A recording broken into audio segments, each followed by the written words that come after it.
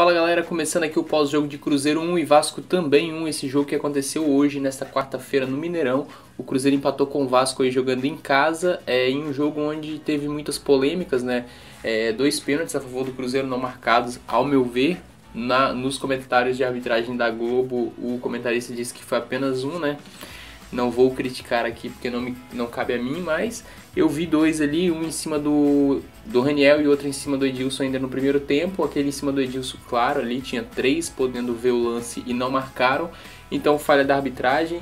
E também a gente tem que questionar aqui atuações de jogadores como Robinho, Thiago Neves, Egídio. E hoje também o Lucas Silva foi mal, né? O, mas principalmente o Robinho e o Thiago Neves que não apareceram para o jogo. E o Egídio que falhou muito feio no lance do gol do Vasco, onde ele entregou de graça a bola para o Andrei.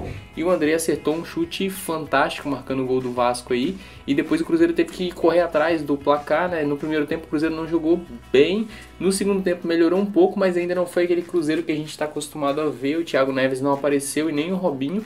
Mas aí no segundo tempo a gente conseguiu o empate em um lance onde o Dedé achou o Rafael Sobis que deu um passe fantástico pro Raniel. O Raniel abriu o placar pro Cruzeiro. Raniel é o cara que tem estrela, né? O garoto que tem estrela sempre aparece nos momentos em que o Cruzeiro mais precisa. E no segundo tempo a gente teve apenas duas alterações. Detalhe que o Mano Menezes não gastou as três alterações. Entraram Bruno Silva e o Marcelo, atacante da base. O Marcelo entrou muito participativo, aparecendo muito, mas muito mal Marcelo também, mas a gente não pode criticar o garoto, é apenas a segunda partida dele no profissional, entrando no segundo tempo, mas hoje ele entrou muito mal, errando domínios de, domínios de bola, coisa ridícula ali, né? Mas, como eu já disse, é a segunda partida do cara, ele vem subindo da base pro profissional, a gente não pode criticar ainda, vamos esperar ver um pouco mais dele no profissional, daí sim para começar as primeiras críticas.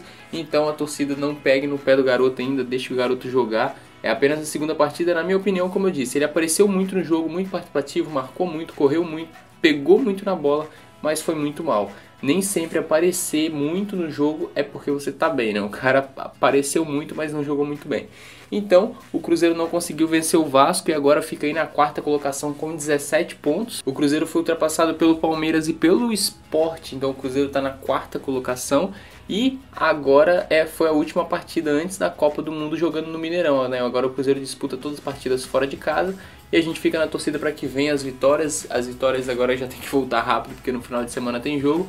E então esse foi o nosso pós-jogo, bem rapidinho como a gente faz depois do jogo. Se você gostou, deixa o gostei Comente aí o que você achou da partida, se inscreva em nosso canal. E hoje ninguém acertou o palpite, por isso que ninguém apareceu aqui com as prints dos palpiteiros. Então siga acompanhando a gente aí, a gente postou um vídeo muito bacana contando a história do Arrascaeta. Se você clicar aqui em cima, você vai direto pro vídeo, então vai lá, assista o vídeo que tá aí no canal que tá muito bacana e siga acompanhando a gente.